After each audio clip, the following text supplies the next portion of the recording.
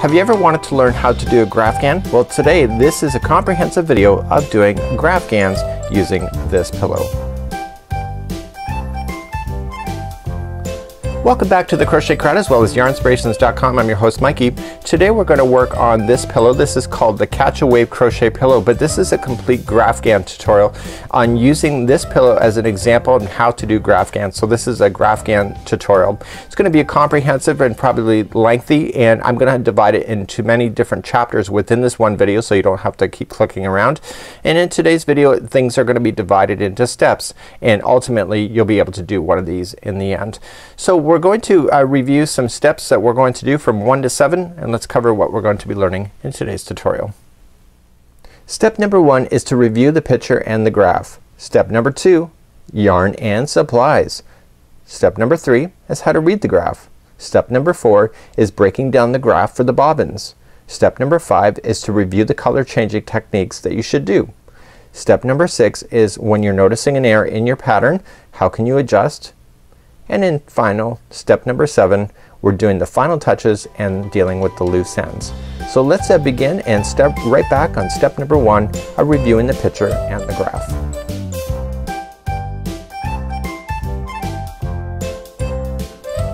So in step number one we're going to look at the photograph and the graph that's been provided. This is a free pattern available on yarnspirations.com called the Catch a Wave crochet pillow. Now what you're going to look at is that you're going to look at the lines and regardless if it's this pattern or any other pattern that you're finding online you want to really look at the lines that are being used. So you can see that there's steel blue, there's cream, aqua, and then cream and then steel blue and then there's cream again. So you're looking at the lines of your work. Sometimes some of these graph Graphghans the lines are so thin that if you were to try to do it it wouldn't actually work out really well. So for example the way that the designer has it this cream line actually is very well defined so you want to look for that in this kind of pattern. You also want to look at how many colors that the designer has used. So in this case there's only three different colors so you're not looking that this is going to be too complex. Now nice thing about this particular pattern is that the designer has also provided it in a graph format. So you're going to be able to find the boxes and each one of these boxes equals 10. Okay, so there are 10 stitches across and 10 rows up.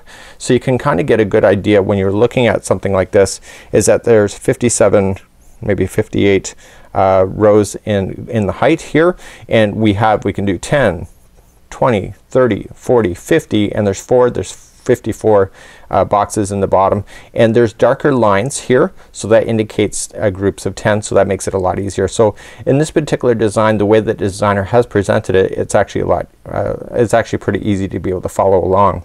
So what you're looking for here is that you can see that their cream line is here. You can see that it's defined by two boxes side by side and that's what's giving it the nice look on the actual pillow itself is that if this was just diagonal and there was one here, one, one and not doubling up it would not be a very good defined line.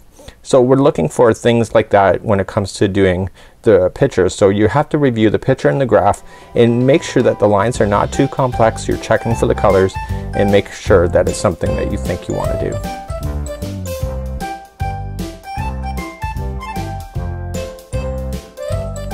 In step number two we're going to review the yarn and supplies and we're going to look right directly back to the pattern and we're just going to look for how much yarn is going to be needed. So there's only like three balls uh, of yarn needed so it's one in every color so steel blue, cream and aqua in the Bernat uh, Maker Home Dec yarn. So you're going to notice here that what I thought was interesting is that the yarn that the designers asked for and the hook do not complement uh, each other. So if you look at the yarn ball label the yarn is recommended for an 8 millimeter size L which is much bigger than this one. So this means to me that the designer is looking for tension and tightness and I can tell you firsthand that's absolutely fantastic in this particular uh, uh, example. The reason for it's nice and tight you don't not want to see that pillow form going through your project. So I can see that this designer has asked us to compress the hook so then you're gonna have tighter stitches to give a better overall look. So I'm pretty happy with that. Also looking at the instructions it's just single crochet and it just says to refer to the diagram that was provided. So the crochet chart that was provided and the back is just made up of one panel. You can see here it's just made up of one panel and then we're just going to single crochet ourselves evenly all the way around with three single crochets in the corner. So I'm looking at this. This is not a deal breaker for me. The hook size is a six millimeter size J. I'm looking at the crochet chart that's been provided to me. Um, it's a nice size on the paper so it's not so compressed that I can barely see it. So I think I'm gonna be pretty successful with this pattern. So you have to look at the yarn and supplies and determine the foam insert. So what does it say for the foam insert? The designer should have provided that and she does. So it's 18 inches uh, square for the square pillow form. And I do say the designer is a she because it is a she that has designed this pattern for yarnspirations.com. So let's uh, move along to step number three on how to read the graphs and that's the most important one of all.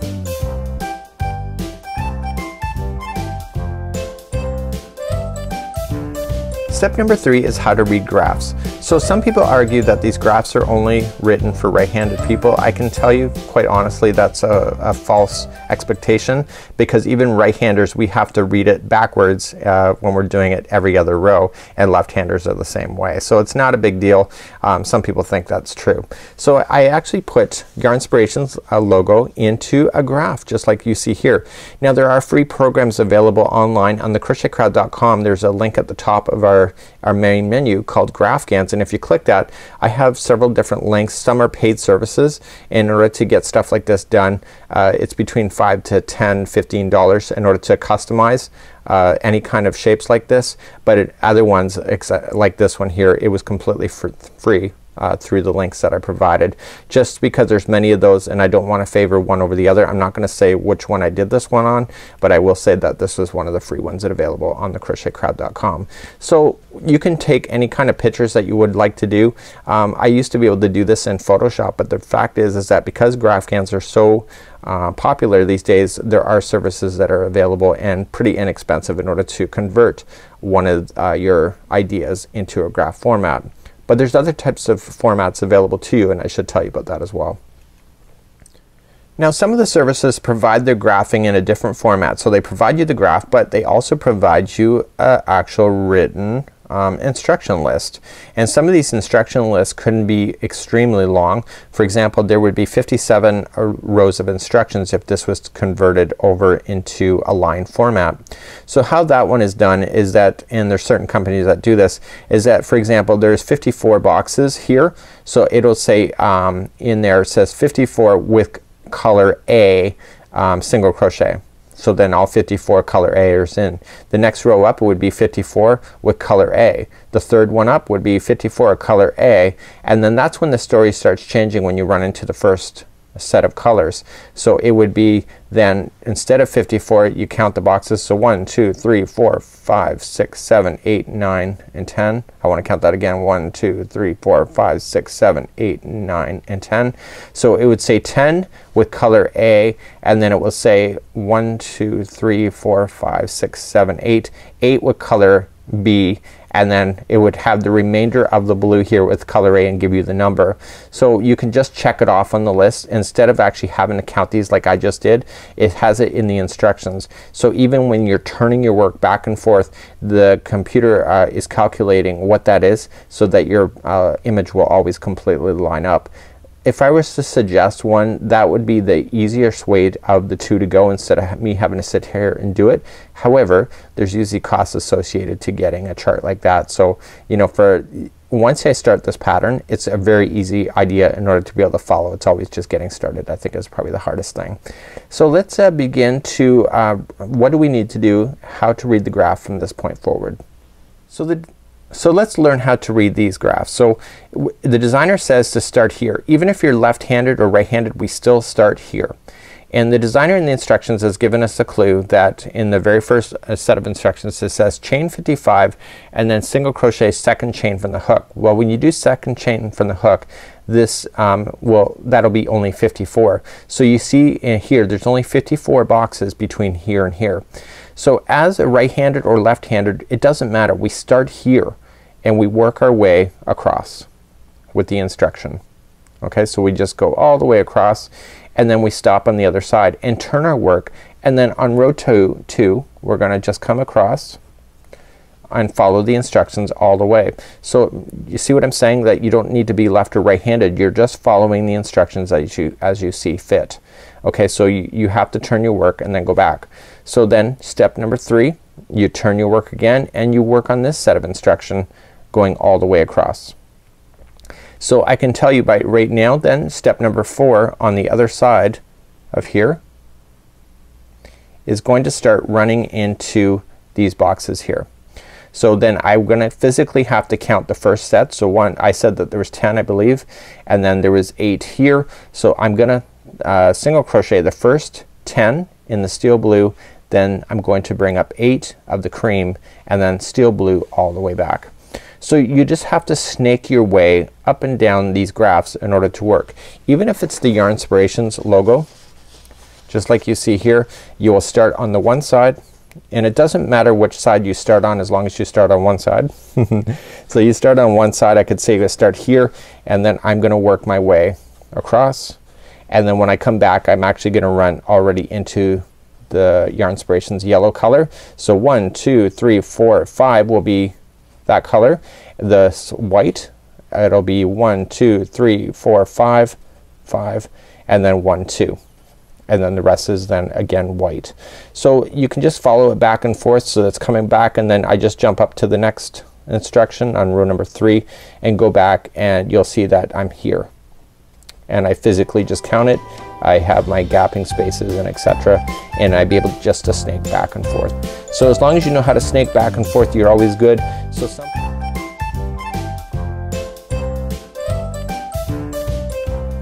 In step number four we need to break down the graph that we have and create little bobbins. Bobbins are a little miniature ball based on the big ball. So what we have to do is that in this particular design and I'm gonna explain the difference of doing it this way versus other ways here on this uh, particular video is that you need to create these bobbins. How many are you gonna need? How big should these bobbins be? Well sometimes the question is actually you just have to just eye that out for yourself. But I'm gonna give you some tips and ideas because we have to figure out how many bobbins that we're going to need and what exactly are bobbins. I think that's one of the biggest questions that we have that when it comes to all this Graphghan work. So let's cover what is a bobbin and why do we need it. So here we have the graph again and we are going to look at the bobbin work. How many bobbins are we gonna need and why do you need bobbins? Well there's different ways of doing Graphghan work and it depends on your application. So the first one that is not done with this particular pillow is one where you add and subtract the yarn in every line that you go or you just kind of bunch it up and let all the tails hang out on the one end. And so then the other side though it appears perfect the back end appears a mess. So this would not be an Afghan that you could turn around really kind of safely without having this mess being shown. So this is kind of done in a way of carrying yarn back and forth without physically. So you can see that the, um, the aqua was carried over and then it was carried back and you can see that and I intentionally just did it in a way that it would always stay on the one side. So that's one of the options. For this particular pillow what can happen though is if you leave these tail ends coming uh, you know just the way application of use of the pillow you could have these tails uh, start to peek through certain areas when it's resting against the foam. So this is not how this uh, pillow is done. So with the bobbin format you have it like this.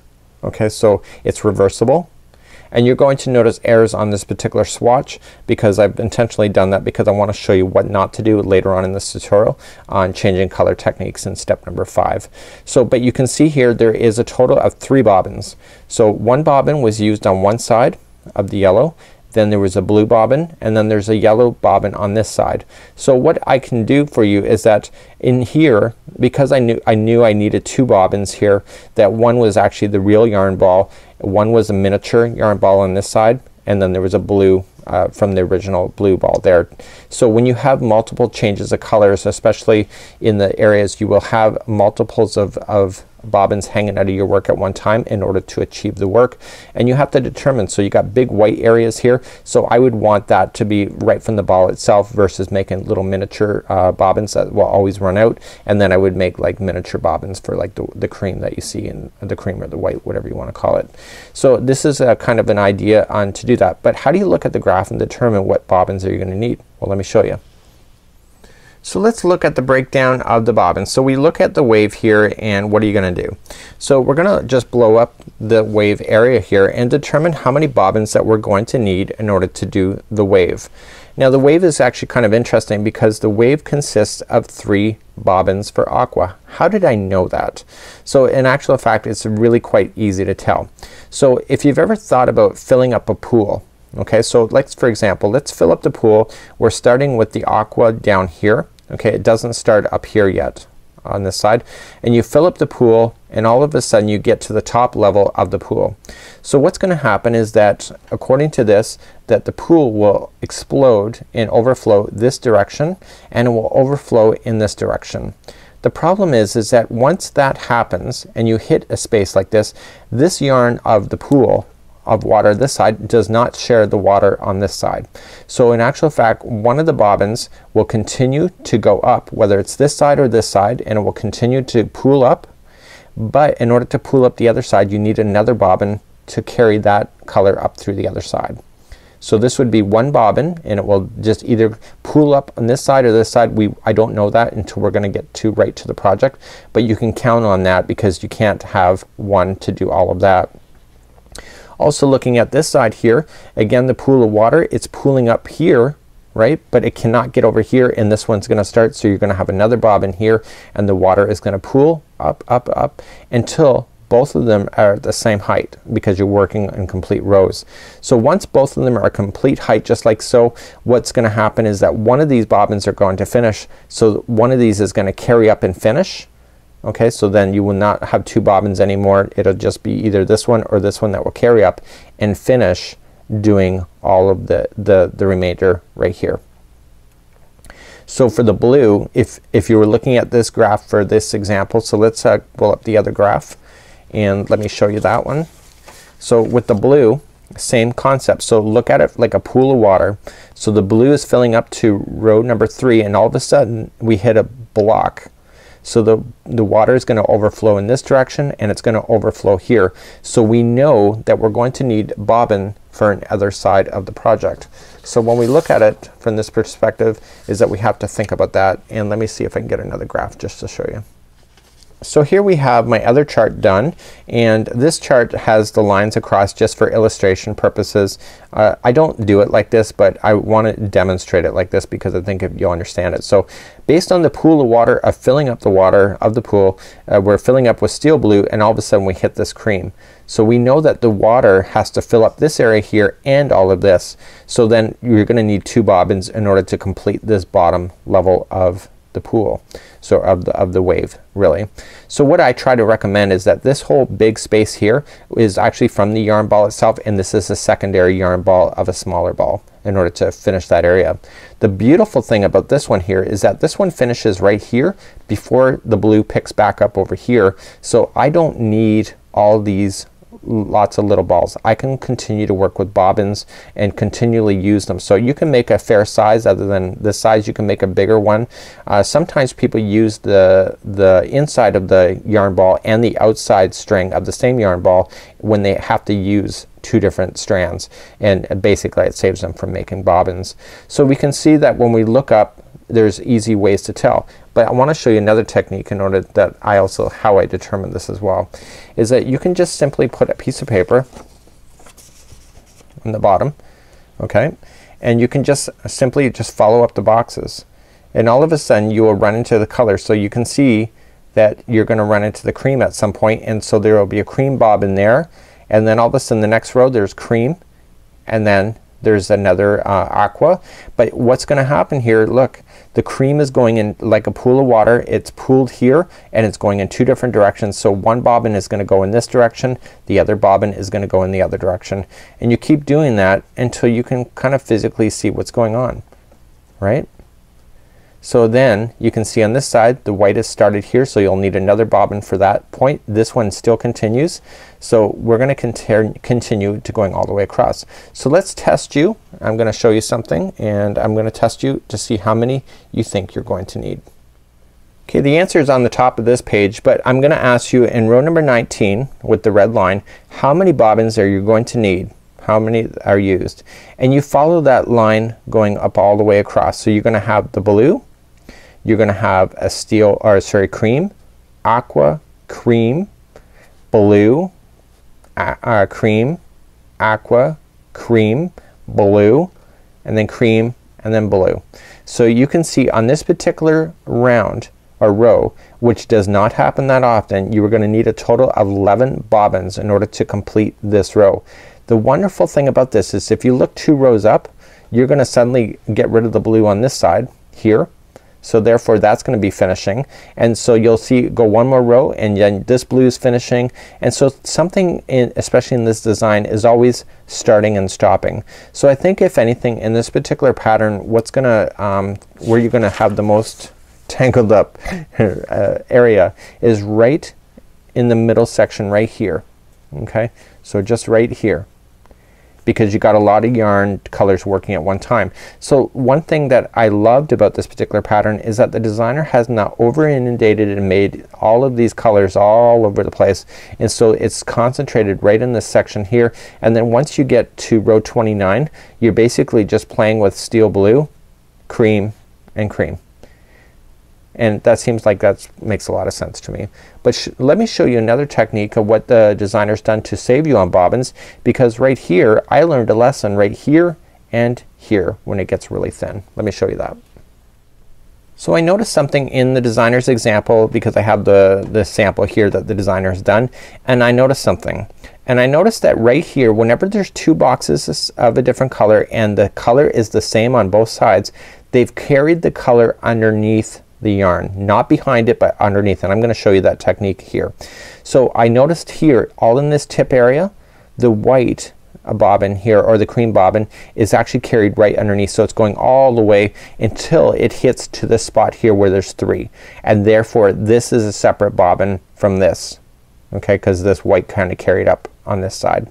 So that's where we have to pay attention to uh, on these kind of uh, concepts and right here again the same concept is that when it became two one in one and one the designer what she's done is just carried this cream through this area here and so it's just uh, it's just a way of saving space. I have to say you can't even notice the difference of it being a separate bobbin versus carrying it through and because of that I think that it will speed you up especially in this area because you have like one two three four five six seven and eight there's eight rows that you do not have to worry about really um, making a separate bobbin and switching out yarns and making it harder for yourself. You can just carry it through in order to get it done more successfully and I thought that was a pretty cool tip. So the final tip with these bobbins Okay, so you don't make enough of them or you don't have enough of them. You know the reality is is that you're always stopping and starting the yarns anyway. So even if you run out of a yarn ball uh, like a little bobbin midway through adding a secondary one is not a big deal. I'd recommend that you either add it where it's starting not in the middle of a line uh, like middle of an instruction. So if you run out of cream midway through just subtract back out to the beginning and start it there instead. But this is a great way to be able to do it and because it is Graphghan work where you're dropping and adding yarn all the time you will not notice if you have switched bobbins at any point in order to do it. So just be generous and just make a few of them for yourself and it's a really great concept. So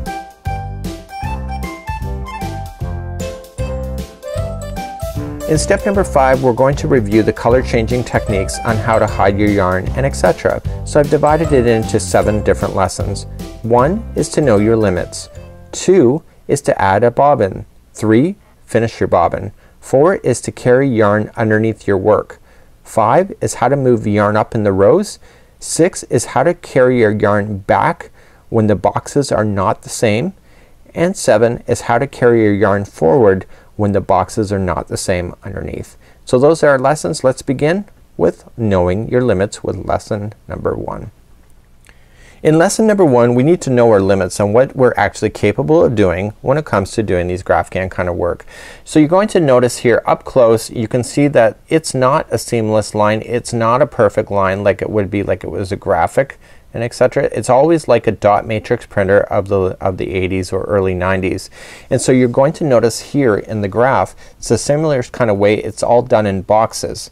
But you're going to notice that there is a similarity on how these look. So for example you see that the white is kind of protruding a little bit into the wave and then if you follow that across so it's protruding a little bit into the wave the blue protrudes into the white on the other side. Looking up on the next one here is that the blue protrudes over and then it finishes just perfectly on this side. So you're going to notice this uh, in this particular example. But let me show you a pillow we did earlier this year. The tutorial is also available on this one. This is the block angle pillow. So you're always going to notice that on one side it looks completely perfect and on the other side it always looks like it's it's jagged in. But I will tell you, you flip this material to the other side and all of a sudden this side here will look like this and this side here that looks perfect on this side will look like that. Okay? So this is one of those capabilities that you will never end up with a line that is perfect like this all the way around shapes. Always one side has to give. And so you will notice that here on this pillow. So when you look at this side here you will notice that on one side here the white is kind of jagging in and then on here is like there. So you have to understand what your limits are when it comes to these kind of things. So if you're looking for picture perfect and the lines to all be like this, uh, you're in the wrong space because with Graphghan work that's not possible. And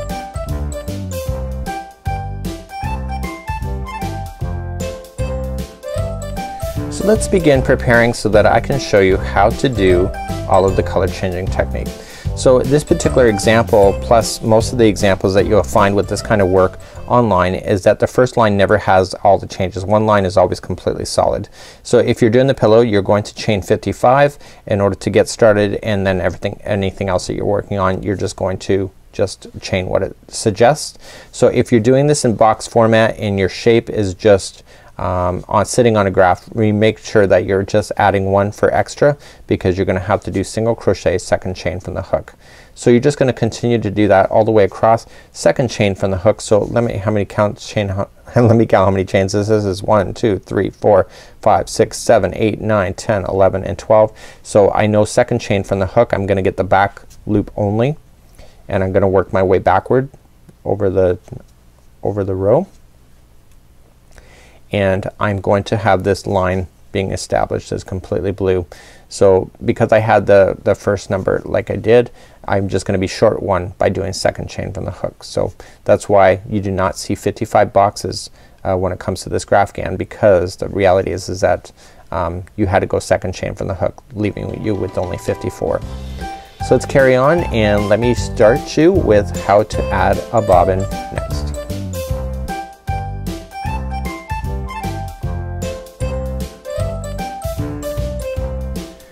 So here is an example of the going dotty hat. We have a tutorial available on this one here and this is using a technique that is not in this pillow and what we have here is that we have the going dotty dot here but do you notice that you can see the fluorescent through the yellow? So this is a technique where the yarn is hidden underneath the stitches. So we do this in the Graphghan work for when a maximum of two boxes only and it's not a big deal but when you carry such a long way you can physically see these stitches. So if you look at inside the dot itself you can see the fluorescent um, yellow is actually kind of visible there as well. So this is here is not going to give you the true look of what this wave is going to do like this in the look and sometimes this bothers people. So this is a technique that is uh, done but is not highly recommended all the time. So let's uh, show you the technique of adding bobbins. So I'm about to start another row and we're gonna need our bobbins. So when I go to start this one I know I'm gonna put yellow in the middle somewhere and I'm gonna end it with blue. So this, therefore I need another blue one for the side here. So this string here is going right to the yarn ball and the, this is a secondary right in the middle. So I'm going to start off by chaining one. We're always gonna chain one and then you're gonna single crochet for the amount of boxes that you need to go all the way across. So in my case I'm just gonna go three. But I'm not gonna finish the third one.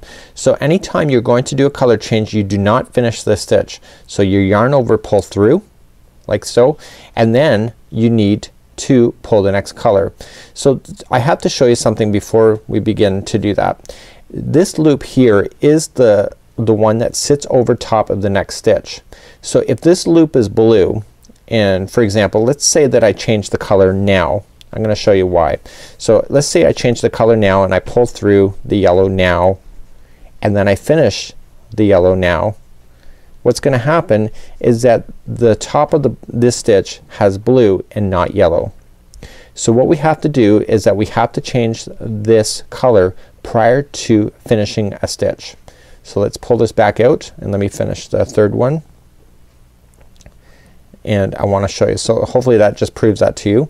So we're gonna go in, pull through, do not finish. Lean this forward. So pull your work forward. This is an absolute must. That's not negotiable. Don't even argue with me. Pull it through forward. Okay. And take up your yarn. I don't even know why I said that. Uh, take up your other yarn and pull it through. And you're just gonna finish it. Okay. Do not have any slip knots or anything on this yarn. And let that straggler fall in the center with the or like in the front with the other blue one there.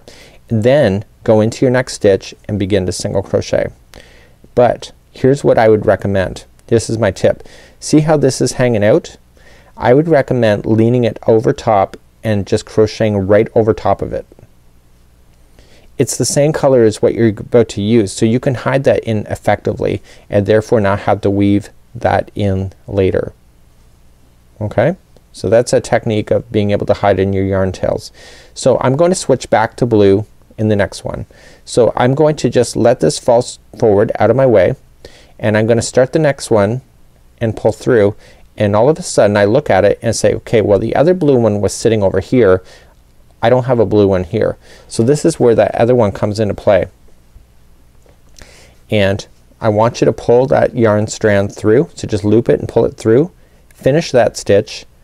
Let that yellow come in front with the straggler in front and go to the next stitch and, and do it like so. Just pull these forward. Just see how I just kind of pulled it tight and I'm gonna go all the way to the end of the line.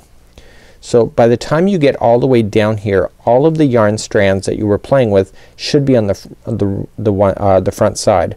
So these are all accessible. So the only difference here now that I buried that yellow one in there I can safely cut that and I don't really need to worry about it.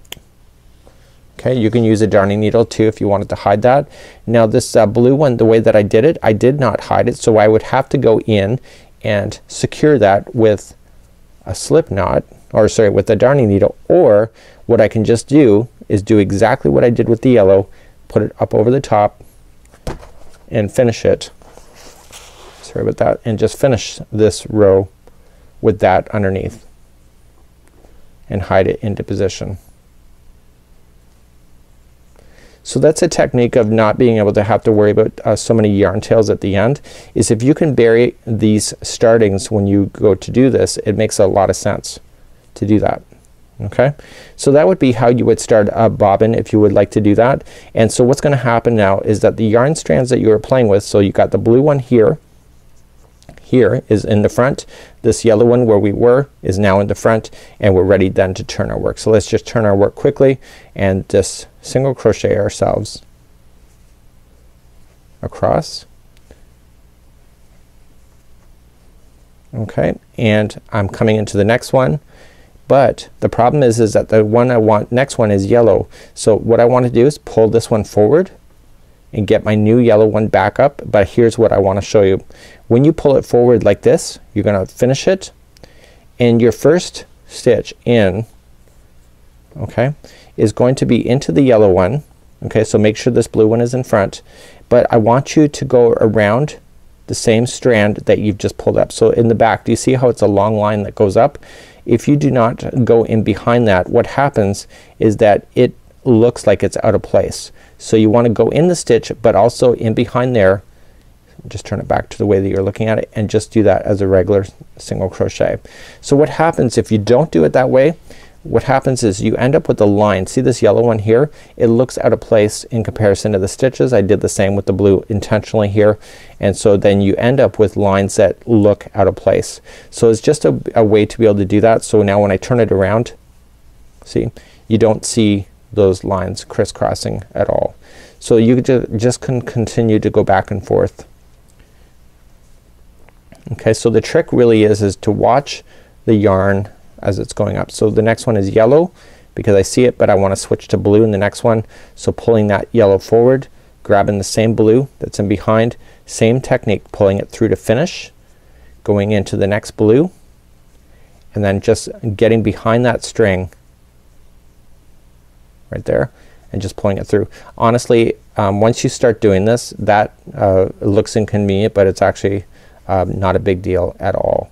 So you basically can enjoy that. So this would be how you start a, bar, a bobbin and this is kind of an easy way. You can see nice clean lines and it's a great way to go.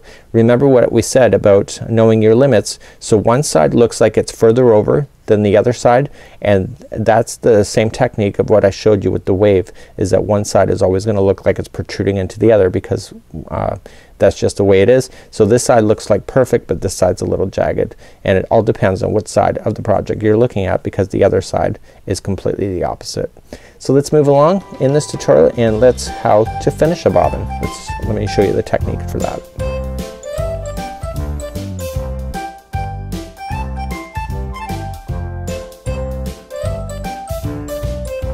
So in lesson number three we're gonna learn how to finish the bobbin and I'm going to finish the yellow and I'm gonna finish the blue at the same time.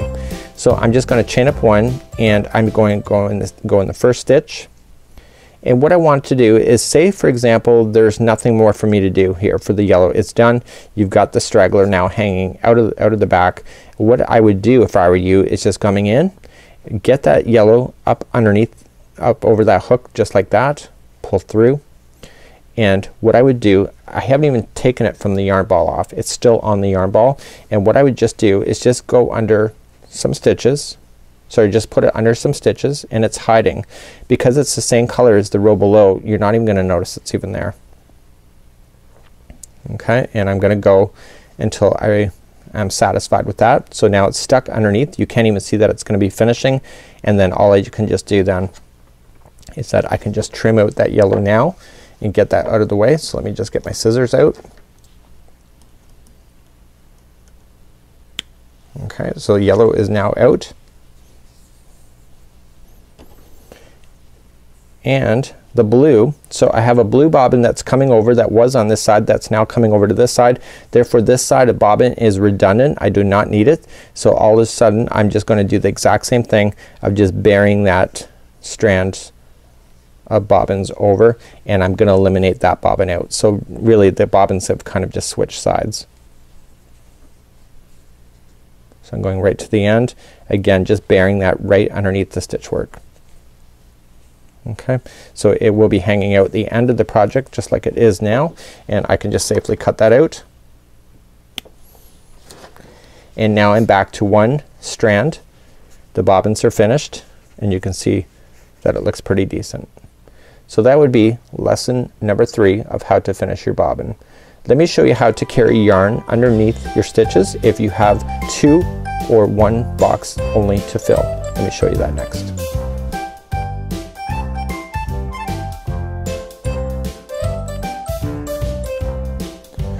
So in the next lesson I'm going to show you what happens if you have a particular area of your project where there is not a lot of boxes and you don't really need to waste and, and, create another bobbin. So right in the tip here that we had when there was two or one box one or two boxes left and right here we can actually carry this cream underneath of the yarn instead of creating two separate bobbins. So let me show you how to do that. So we're about to say we're about to do that tip of that wave and so I'm going to do it in the next one. So I'm not gonna finish this stitch bring it forward Okay, get in the habit of doing that.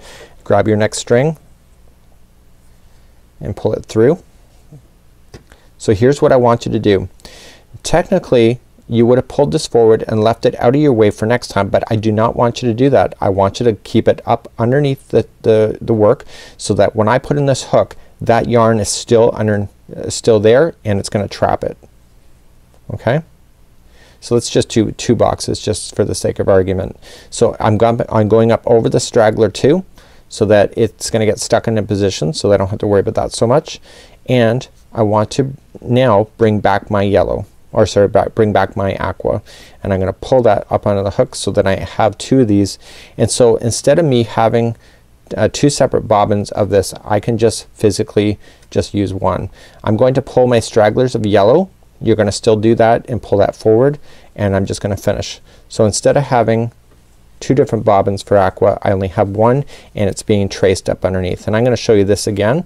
Let me just so I'm now gonna turn my work chain one one single crochet and I want to uh, match exactly the, where the yellow is and just to, to prove that point too. So instead of having two bobbins of aqua I'm carrying it underneath. So that's exactly like that uh, going dotty hat was.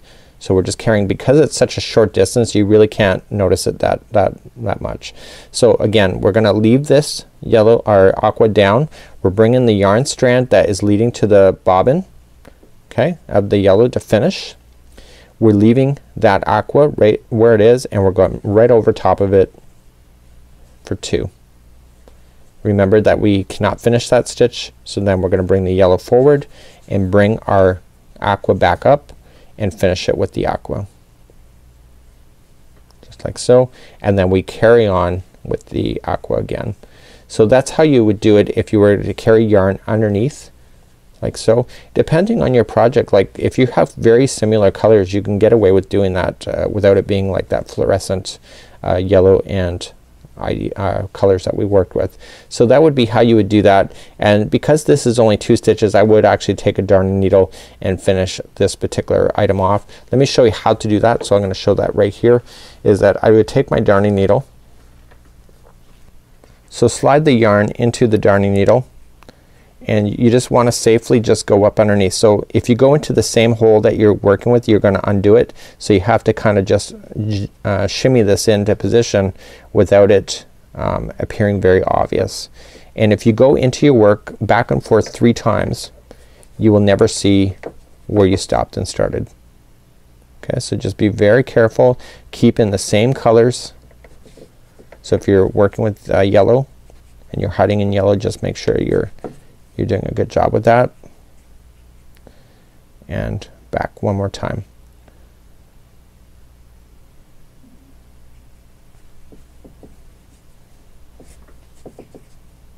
Okay, and that would be how I would hide in that yarn and that's kind of tied into position now and now I can safely cut it back down like there.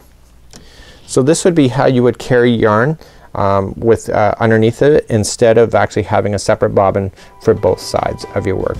Let's move along to your next lesson of how to move yarn up in a row.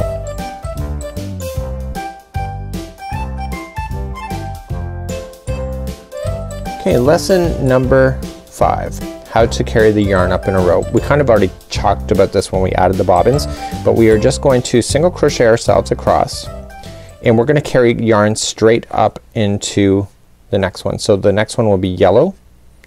Okay, so just straight up. Okay, so we want to match. So remember that we cannot finish this stitch. We have to pull forward and we have to grab the yellow. But watch what I have to do. If you grab the yellow and do it wrong, what's gonna happen is you're gonna have a stitch that's out of out of position. Do you see these? Okay, see how they're really obvious that it's out of place? I did that on purpose just to show you okay. So you have to be very careful when you do this is that you're gonna pull this yarn forward you're gonna finish it with the yellow but if I turn it around see how you see that one is string is out of position.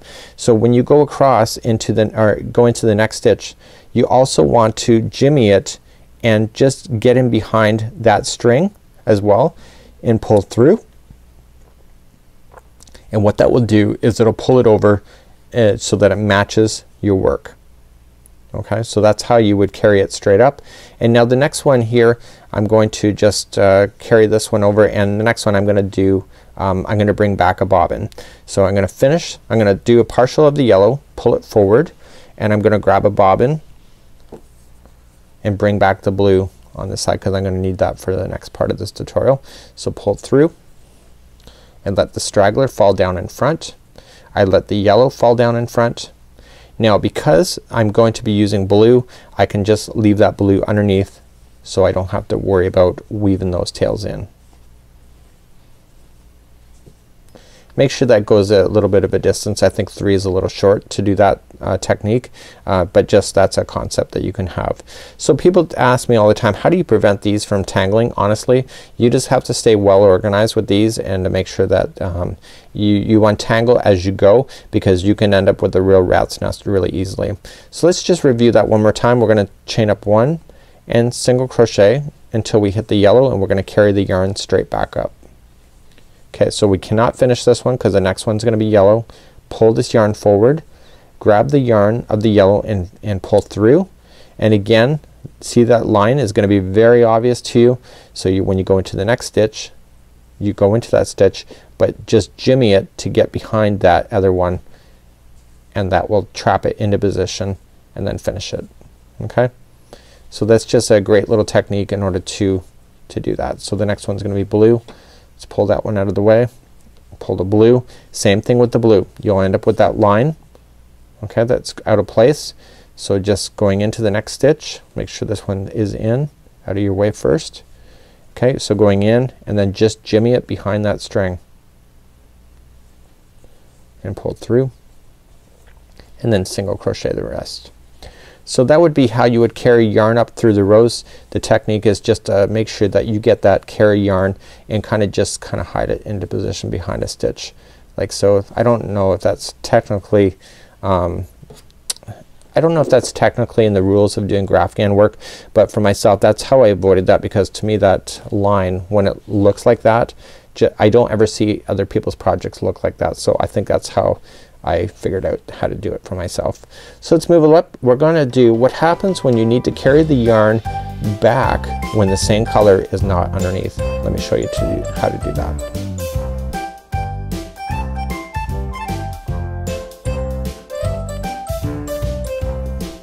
In lesson number six we're gonna learn how to carry the yarn back when the color and the boxes are, uh, are not matching. For example this one here what happens is the yellow is actually starting here.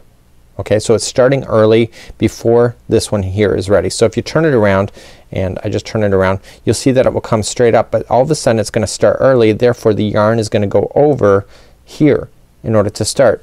So in my particular example this is a great example. See how this one here the blue started later okay. So what happens is you end up with this carrying across string and there's a way to be able to go back and forth like this without having these massive strings hanging out of your work in order to do so. So let me show you how to do that. So this is carrying the yarn back when the boxes don't match. So let's carry back three of the blue with this yellow the yellow is coming up over here. So technically it's only ready right for this area. So let's just chain up one and we're going to a single crochet and I want to do the, the next uh, the, the three blue before. So I'm gonna finish this one here pull this yarn forward.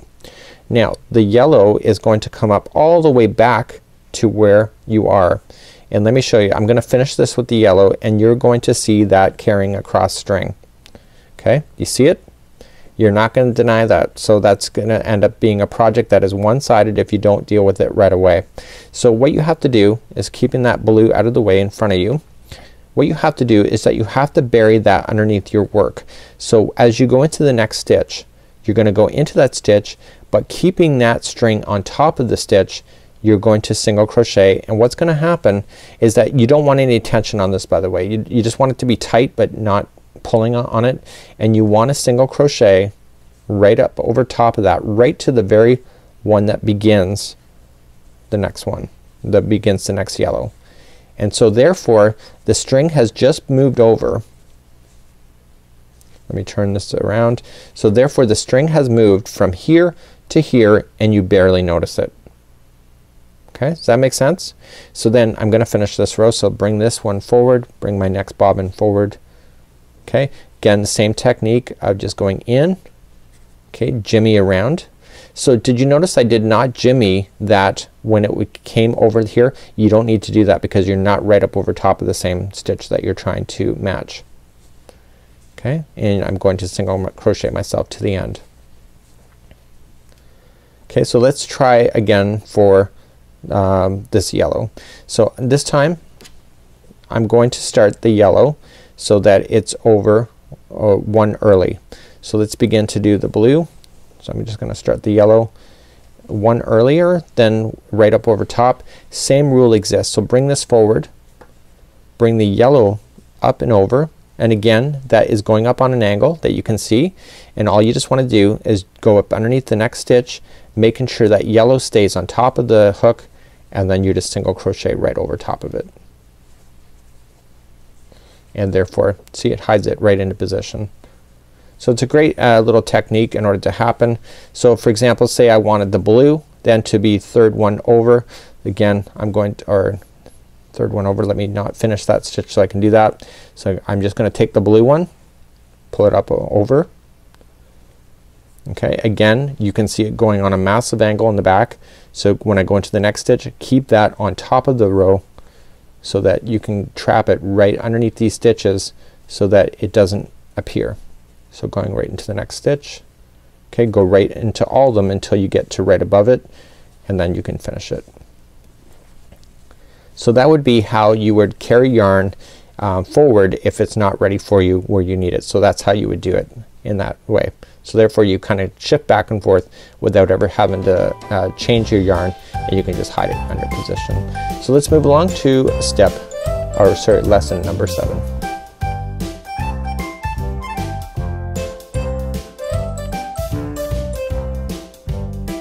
In lesson number seven we are going to think about what we need to do when the yarn starts later.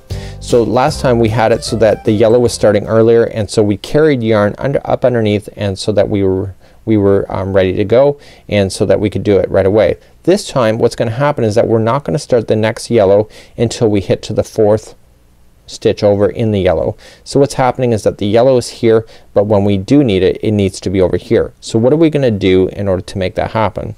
So we're going to chain up one and single crochet into the first one and right when you hit that yellow one okay so go right into the blue okay? Right when you hit that yellow one I want you to bring that yellow up like so and just trap it underneath. So when you go into the next stitch go up underneath it and so that it's right up over top so you're gonna drag it with you.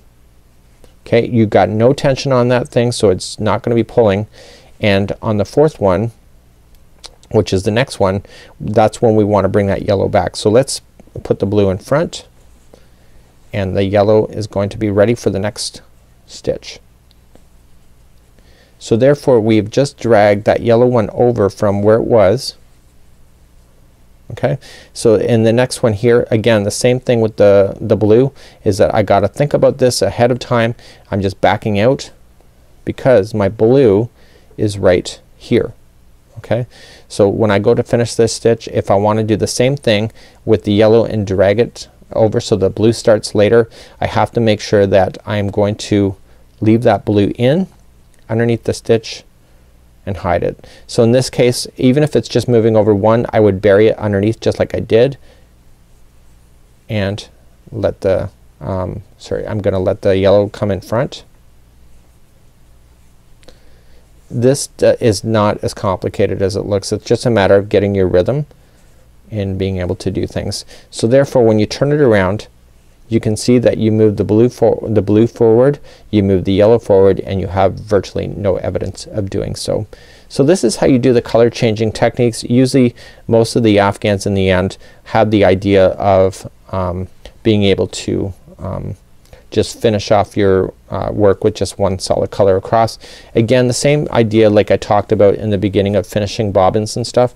You can do the same thing. So the yellow here is going to be um, I'm just gonna put it up underneath the stitch. Okay, so it'll be stuck underneath and so therefore I can safely get rid of that out. Okay and then I'm about to hit the blue one and I don't need that blue bobbin anymore. I'm not gonna drag the yellow uh, into that blue section because then the yellow will appear underneath for the duration and I don't want that. I want a nice clean line. Okay, so this is a great way to be able to hide in ends and hopefully you've learned something in this uh, color changing technique. And uh, again it takes a little bit of practice in order to do so. You can see that my yarn strands are kind of uh, starting to tangle up with each other. Um, it is what it is. You just got to stay organized with your yarn. Um, I wasn't being that disciplined with uh, untangling uh, and untangling it between the takes and so it's just a matter of just working things out.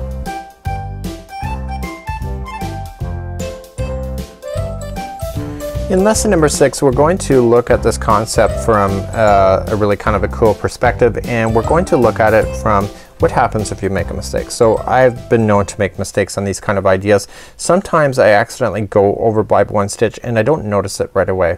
Sometimes these kind of things I just gotta keep you from from frogging. So sometimes for example say I would have accidentally wanted an extra stitch here it would not have been a deal breaker. Even if I would have made the the wave a little more thicker here it wouldn't have been a deal breaker.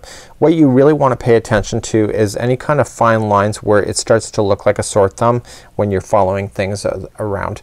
So one of these ideas sometimes you have to improvise you're reading the graph wrong and all of a sudden you realize that you've added an extra box here and if you've added an extra box here sometimes it doesn't make sense to go right back to the existing pattern. Sometimes it just might have to fill in more boxes. I've known to do that and making things a little bit thicker when you notice an error within your work.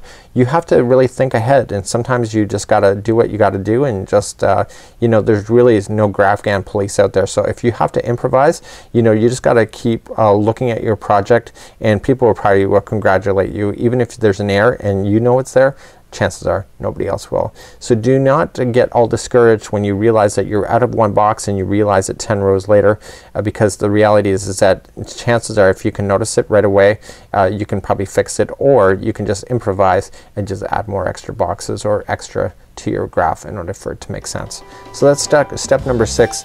Do not get hung up if you're starting to make a mistake. Just try to see if you can improvise.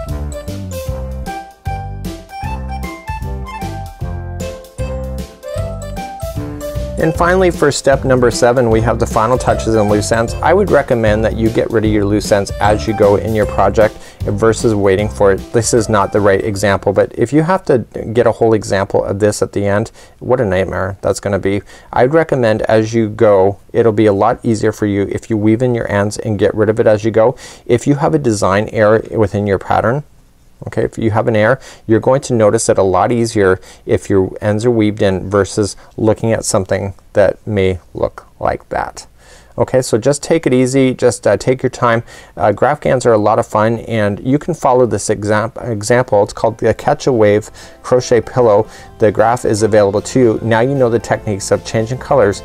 Now you know how to make bobbins and now you can do it. So until next time I'm Mikey on behalf of the Crochet Crowd as well as yarnspirations.com. Thank you so much for joining me today and until next time have a great day and we'll see you again real soon. That's my magic fingers. we'll see you later. Bye bye.